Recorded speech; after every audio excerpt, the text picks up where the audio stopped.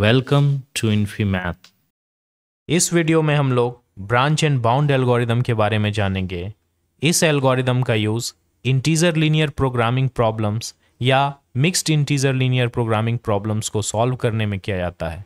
यानी ऐसा linear programming problem जिसमें कुछ वेरिएबल इंटीजर्स होते हैं। अब हम लोग इस एल्गोरिदम की कुछ जनरल बातों को देखते हैं। तो पहली इंपॉर्टेंट बात यह है कि इस एल्गोरिदम का यूज़ इंटीजर प्रोग्रामिंग प्रॉब्लम्स को सॉल्व करने में किया जाता है। जो दूसरा है, वो ये कि ये एल्गोरिदम फिजिबल रीजन को पार्टीशन यानी छोटे छोटे भागों में बांट देता है और जो छोटा छोटा प्रॉब्लम्स होता है, जिसे हम लोग सब प्रॉब्लम्स कहेंगे, या उसे ही हम लोग ब्रांच कहते हैं तो एक बड़े प्रॉब्लम को जब हम छोटे छोटे भाग में बांट देंगे तो वो उसके ब्रांच कहलाएँगे। और इसमें हम लोग सिस्टमेटिकली ऑप्टिमल सॉल्यूशन को हर छोटे छोटे प्रॉब्लम में सर्च करते हैं। इसलिए इसका नाम है ब्रांच एंड बाउंड एल्गोरिदम। इस एल्गोरिदम में एक लोअर बाउंड मान लीजिए किसी रीजन में हमें एक ऑप्टिमल सॉल्यूशन मिला है तो वो उस ऑब्जेक्टिव का लोअर बाउंड हो जाता है। यानी उसके बाद उसके छोटे जितने भी सॉल्यूशन होंगे, उसे हम लोग नेग्लेक्ट कर देते हैं। क्या करता है ये एल्गोरिदम पहले किसी बड़े रीजन को छोटे छोटे भाग में डिवाइड कर देता है। उसके बाद मान लीजिए इस पार्ट में हमें कोई ऑप्टिमल सॉल्यूशन मिल चुका है। तो इसके बाद जितने भी पार्ट्स हैं, जिसमें कि ये ऑप्टिमल सॉल्यूशन से कम उसके ऑब्जेक्टिव की वैल्यू है, हम उसे नेग्लेक्ट कर देते हैं, यानी उसे हम फर्दर कैलकुलेट नहीं करते और लास्ट में कि ये एल्गोरिदम एक काफ़ी जनरल एल्गोरिदम है। ये ना केवल इंटीजर प्रोग्रामिंग प्रॉब्लम्स बल्कि even mix integer linear programming problems को सॉल्व करने में भी हेल्प करता है।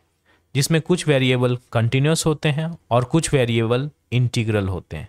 ऐसे प्रॉब्लम्स को भी ये एल्गोरिदम सॉल्व कर सकता है। अब चलिए हम लोग एल्गोरिदम के इंपॉर्टेंट स्टेप्स को देख लेते हैं। तो जो स्टेप्स हैं, जो स्टार्टिंग स्टेप्स हैं, वो बिल्कुल गोमरी कटिंग प्लेन एल्गोरिदम जैसा है। हम लोग जो अपना लीनियर प्रोग्रामिंग प्रॉब्लम है, उसे एल रिलैक्सेशन यानी उसमें जो इंटीजर वाला कंस्ट्रेन है वेरिएबल पर, उसे रिमूव करके तब सॉल्व करते हैं। यानी उसे रिलैक्स करके सॉल्व करते हैं। इसी चीज़ को एल रिलैक्सेशन कहा जाता है। अगर हमारा सॉल्यूशन इंटीजर आता है, तब तो हमें फर्दर कैलकुलेट करने की कोई आवश्यकता नहीं और हम एल्गोरिदम को स्टॉप कर देते हैं।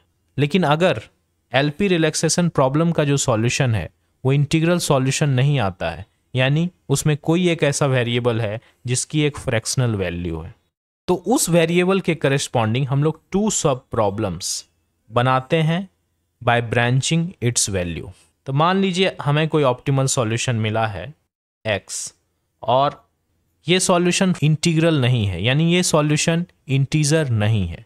इसका मतलब इसका कोई एक वेरिएबल होगा एक्स आई जिसका सॉल्यूशन कोई फ्रैक्शनल नंबर है, यानी ये नंबर प्योर इंटीजर नहीं है।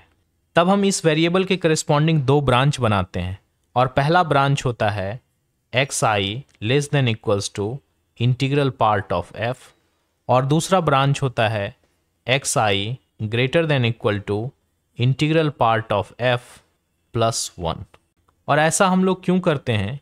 क्योंकि देखिए, हम लोग जानते हैं कि ये जो वेरिएबल एक्स आई है, वो एक इंटीग्रल वेरिएबल है। यानी इसकी वैल्यू इंटीजर ही हो सकती है। लेकिन जो हमारा सॉल्यूशन आया है, वो फ्रैक्शनल आया है। तो ये जो फ्रैक्शनल सॉल्यूशन एफ़ है, वो किस इंटीजर के बीच लाई करेगा? एफ़ लाई करेगा integral value of f and integral of value of f plus one के बीच। यानी ये जो फ्रैक्शनल वैल्यू एफ़ है, वो इन दोनों इंटीजर के बीच लाई करेगा। तो कोई भी इंटीग्रल सॉल्यूशन होगा तो वो इस बीच के रीजन में तो नहीं पॉसिबल है। यहाँ नहीं हो सकता इस बीच के रीजन में। इसलिए हम लोग जो बड़ा फिजिबल रीजन होता है, उसमें से ये बीच का जो रीजन है, उसे हटा देते हैं। और जब हम किसी वेरिएबल के करस्पॉन्डिंग इस तरह बीच का रीजन हटा देंगे तो हमें दो अलग अलग पार्ट मिलेंगे फिजिबल रीजन के, और उसे हम लोग अपने ओरिजिनल प्रॉब्लम का सब प्रॉब्लम कहेंगे। यानी हर वेरिएबल जो कि फ्रैक्शनल है, वो प्रॉब्लम्स को दो भाग में डिवाइड कर सकता है। और उस सब प्रॉब्लम में फिर हम लोग इंटीग्रल सॉल्यूशन फाइंड करने की कोशिश करेंगे इस मेथड से। तो उसके बाद हम लोग देख सकते हैं कि हर सब प्रॉब्लम को हम लोग same linear programming relaxation technique से सॉल्व करते हैं। और सॉल्यूशन का जो लोअर बाउंड है, उसे अपडेट करते रहते मान लीजिए हमारे पास बहुत सारे सब प्रॉब्लम है problem one problem two problem three and problem four five and so on मान लीजिए ये जो पार्ट है तो इस पार्ट का कोई इंटीग्रल ऑप्टिमल सॉल्यूशन आया है, मान लीजिए z इक्वल्स टू फाइव अब बाकी जितने भी प्रॉब्लम्स हैं, जिनमें ऑब्जेक्टिव की वैल्यू फाइव या उससे कम है, उसे हमें फर्दर कैलकुलेट करने की आवश्यकता नहीं है, क्योंकि हमें एक इंटीग्रल सॉल्यूशन इस रीजन में मिल चुका है।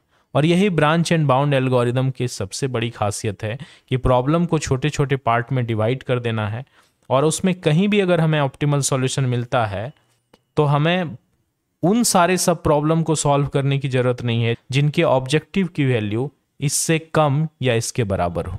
और लास्ट में ये काम हमें तब तक करते रहना है जब तक हमें ऑप्टिमल सॉल्यूशन मिल नहीं जाता अब हम लोग एक एग्ज़ाम्पल की मदद से समझते हैं इस ब्रांच एंड बाउंड एल्गोरिथम को।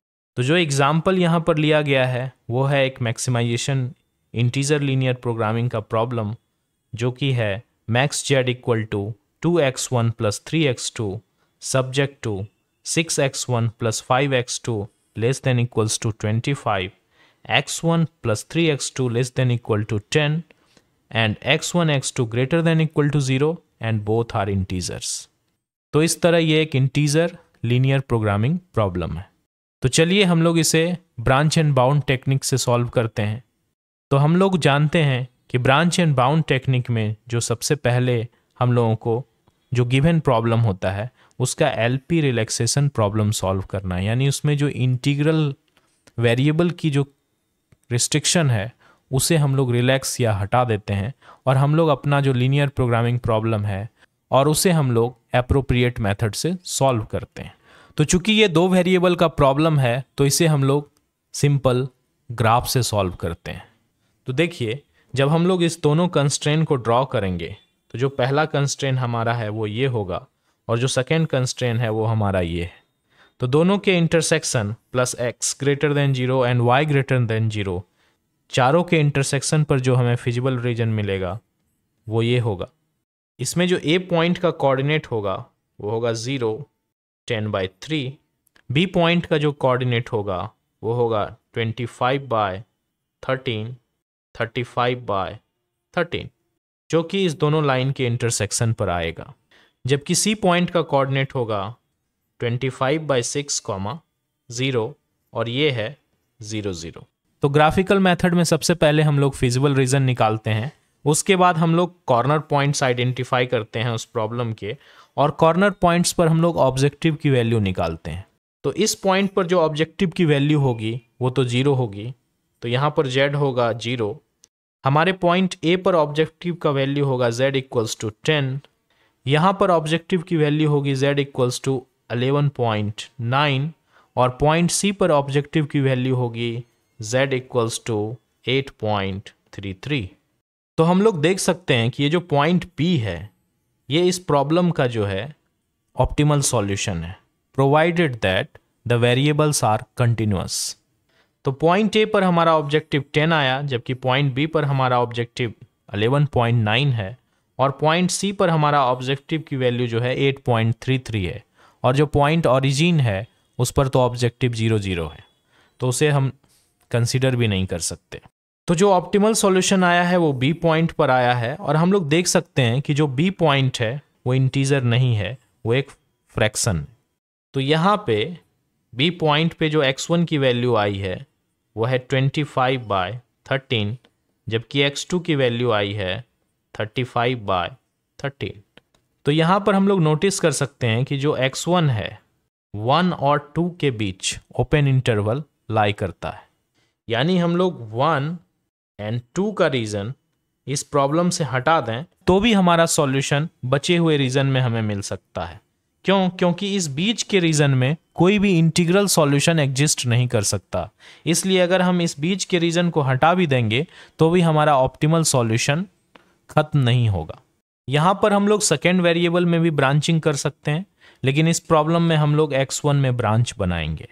तो चूँकि हम लोगों ने नोटिस किया है कि जो वेरिएबल x1 है, वो 1 से 2 के बीच में लाई करता है तो जो पॉसिबल ब्रांच होंगी, वो होंगी एक branch x1 less than equals to one और दूसरी ब्रांच होंगी X one greater than equal to two यानी जो हमारा ओरिजिनल प्रॉब्लम है, उसके करस्पॉन्डिंग अब हमारे पास दो प्रॉब्लम होंगे और इस प्रॉब्लम में हम लोग एक कंस्टेंट और ऐड करेंगे X one less than equal to one और जो हमारा दूसरा प्रॉब्लम है इसमें हम लोग एक कंस्टेंट इस ओरिजिनल प्रॉब्लम में ऐड कर देंगे X one greater than equal to two और फिर हम लोग अपने दोनों प्रॉब्लम को अलग अलग सॉल्व करेंगे।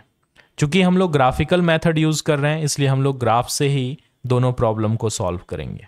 तो जब हम अपने पुराने ही ग्राफ में जब ये दोनों लाइन ऐड कर देंगे और बीच का रीज़न हम लोग हटा देंगे तो हमारे पास दोनों सब प्रॉब्लम के करिस्पॉन्डिंग दो फिजिबल रीज़न मिलेंगे।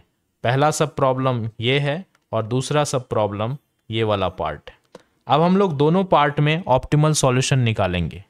तो इस दोनों पार्ट में ऑप्टिमल सॉल्यूशन निकालने के लिए हम लोग देख सकते हैं हम लोग इस पॉइंट इस पॉइंट इस पॉइंट को पहले से कैलकुलेट कर चुके हैं। तो जब हम किसी रीजन को दो भाग में डिवाइड करेंगे तो हमें टोटल चार नए पॉइंट मिलेंगे। और हम लोग सिर्फ़ इस चार पॉइंट पे ऑब्जेक्टिव कैलकुलेट करेंगे। तो फॉर रीज़न वन हम लोग डी और ई e पर ऑब्जेक्टिव की वैल्यू देखेंगे और कंपेयर करेंगे कि इन चारों पॉइंट में मैक्सिमम ऑब्जेक्टिव कहाँ पर एग्जिस्ट कर रहा है। उसी तरह हम लोग रीज़न टू में एफ़ और जी पॉइंट पर ऑब्जेक्टिव की वैल्यू कैलकुलेट करेंगे। तो जब रीज़न वन में जो हमारा पहला पॉइंट है डी वन ज़ीरो उस पर जो ऑब्जेक्टिव की वैल्यू आएगी टू आएगी, जबकि रीज़न वन के सेकेंड पॉइंट ई पर जो ऑब्जेक्टिव की वैल्यू होगी वो होगी अलेवन क्योंकि two times one plus three times three होता है अलेवन तो जेड ही हो जाएगा अलेवन और हम लोग देख सकते हैं कि ये एक इंटीग्रल सॉल्यूशन है. यानी जेड की वैल्यू कम से कम अब अलेवन हो सकती है. तो रीज़न वन के कैलकुलेशन के बाद हम लोगों ने समझा कि अब जो ऑब्जेक्टिव की वैल्यू होगी, वो z इक्वल टू अलेवन से ज़्यादा ही हो सकती है, कम नहीं हो सकती है. चूँकि ये एक इंटीग्रल सॉल्यूशन है, इसलिए ये इस प्रॉब्लम का जो है एक लोअर बाउंड है। यानी इससे छोटा सॉल्यूशन अब एग्जिस्ट नहीं कर सकता है। चलिए अब हम लोग रीजन टू में देखते हैं। तो रीजन टू में जो दो पॉइंट आया है, ये है हमारा एफ़ यानी टू ज़ीरो और ये जो सेकेंड पॉइंट है, ये है two comma thirteen by five और ये कैसे मिला? ये X equal to two line and this line के इंटरसेक्शन से हमें मिला है। यानी X one equal to two जब हम लोग six X one plus five X two equals to twenty five में पुट करके एलिमिनेट करेंगे तो हमें ये पॉइंट मिलेगा। अब हम लोग दोनों पॉइंट पर ऑब्जेक्टिव की वैल्यू निकालते हैं तो जो एफ़ पॉइंट पर ऑब्जेक्टिव की वैल्यू आई है, वो आई है फोर जबकि जी पॉइंट पे जो ऑब्जेक्टिव की वैल्यू है, वो है अलेवन पॉइंट एट यानी ये जो जी पॉइंट है, ये रीज़न टू का एक ऑप्टिमल सॉल्यूशन अब देखिए, ये जो ऑप्टिमल सॉल्यूशन है जी, ये एक नॉन इंटीग्रल सॉल्यूशन अब यहाँ पर दो इंपॉर्टेंट बातें हैं कि जी जो सॉल्यूशन है रीज़न टू का, वो एक नॉन इंटीग्रल सॉल्यूशन है। साथ ही साथ जो ऑब्जेक्टिव की वैल्यू है जेड जी वो है अलेवन पॉइंट एट जो कि इस अलेवन से ज़्यादा है। यानी हो सकता है इस सेकेंड रीज़न में ऐसा एक इंटीग्रल सॉल्यूशन हो जिसकी वैल्यू अलेवन से ज़्यादा है। तो इस कारण से हम लोग इस रीजन टू को फर्दर ब्रांचिंग करने की ज़रूरत है। तो रीजन टू में हम लोग कैसे ब्रांच बनाएँगे? तो रीजन टू में हम लोग देख सकते हैं जो पहला वेरिएबल है, ये एक इंटीजर है। तो इसमें हमें ब्रांच बनाने की ज़रूरत नहीं है। लेकिन ये जो दूसरा वेरिएबल है, एक्स टू तो एक्स टू की वैल्यू आई है थर्टीन बाय फाइव। और ये जो वैल्यू लाई करती है, टू से थ्री के बीच लाई कर रही। यानी हम लोग दो ब्रांच बनाएँगे, एक्स टू के करिस्पॉन्डिंग। एक ब्रांच होगा X two less than equals to two जबकि दूसरा ब्रांच होगा X two greater than equal to three अब इसी फिगर में हम लोग एक जो ब्रांच बनाएँगे X two less than equals to two वो जो गिवन फिजिबल रीजन है, उसे इस पार्ट में डिवाइड करेगा, यानी ये रीजन नंबर थ्री हो जाएगा अब, और एक जो ब्रांच होगा, वो थ्री से ऊपर होगा। तो चूँकि ये ब्रांच थ्री से ऊपर है, और हम लोग देख सकते हैं कि ये रीजन एक बिल्कुल एम है। तो रीजन नंबर फोर में हमें कोई पॉइंट नहीं मिला है। जबकि रीजन नंबर थ्री एक फिजिबल सॉल्यूशन है, इसलिए हम लोग रीजन नंबर थ्री में अपना ऑप्टिमल सॉल्यूशन फाइंड करेंगे। तो जब हम लोग रीजन नंबर थ्री ड्रॉ करेंगे तो हमें दो नए पॉइंट्स मिलेंगे एच एंड आई तो एच पॉइंट का कोऑर्डिनेट होगा टू कॉमा टू क्योंकि यहाँ एक्स भी टू है और वाई भी टू है। जबकि आई पॉइंट का जो कोऑर्डिनेट है, ये होगा fifteen by six comma two और जब हम लोग दोनों पॉइंट एच और आई पर अपना ऑब्जेक्टिव की वैल्यू कैलकुलेट करेंगे तो जेड एच पर जो ऑब्जेक्टिव की वैल्यू आई है, वो आई है टेन जबकि जेड आई पर जो ऑब्जेक्टिव की वैल्यू आ रही है, वो आ रही है अलेवन लेकिन ये जो सॉल्यूशन है, वो इंटीग्रल सॉल्यूशन नहीं है. इसलिए हमें फर्दर ब्रांचिंग की आवश्यकता हो सकती है. लेकिन यहाँ पर एक इंपॉर्टेंट बात है, कि हम लोग जानते हैं कि रीज़न वन से हमारा जो प्रॉब्लम है, उसका लोअर बाउंड अलेवन है। यानी जो ऑब्जेक्टिव की वैल्यू है अलेवन से छोटी नहीं हो सकती। और जब भी हम लोग ब्रांचिंग करते हैं, यानी कि फिजिबल रीजन को दो पार्ट में डिवाइड करते हैं ऑब्जेक्टिव की वैल्यू या तो घटेगी या तो उसके बराबर रहेगी। यानी अब जो है, अगर हम इसको फर्दर ब्रांच करेंगे तो ऑब्जेक्टिव की वैल्यू अलेवन से ज़्यादा नहीं हो सकती है। इसलिए हम लोग, ये जो ई e पॉइंट पर जो सॉल्यूशन मिला था Z E equals to eleven वो हमारा सॉल्यूशन होगा। और चूँकि अब हमारे पास कोई भी रीज़न नहीं है फर्दर एक्सप्लोर करने के लिए तो जेड तो फ़र्स्ट रीजन का optimal solution z equal to eleven on point X one equal to one and X two equal to three ये जो गिवन प्रॉब्लम है, इसका सॉल्यूशन है। अब हम लोग इस प्रॉब्लम में जो ब्रांच बनाए हैं, उसका एक ओवरव्यू देख लेते हैं।